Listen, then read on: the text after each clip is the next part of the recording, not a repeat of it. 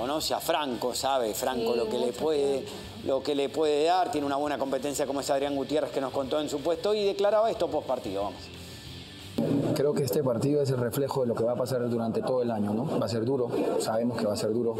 Eh, también sabemos que no nos sobra nada, no sobra nada, somos un equipo que no nos sobra nada, somos conscientes de eso, por eso que hay que guerrear hasta el último.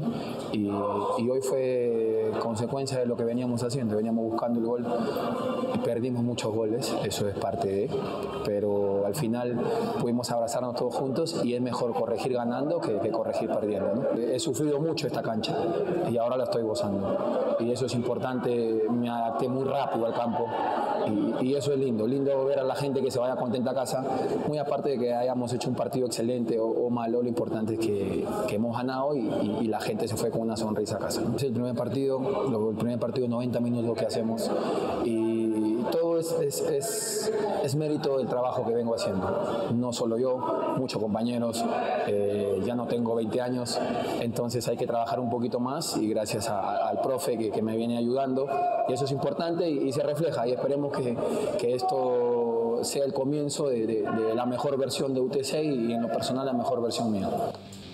Muy bien, ahí teníamos las declaraciones de Lucho Trujillo que termina siendo fundamental. Vamos a tener un jugador de bolsa. Está más cercanos a la fecha del, del, partido, obviamente, de cara a lo que será el partido más destacado del fin de semana. Sí, por También, supuesto. obviamente, está el Cristal Melgar. Me gustaría ver mucho, porque Melgar no cambia su manera. Canal exclusivo de Movistar TV.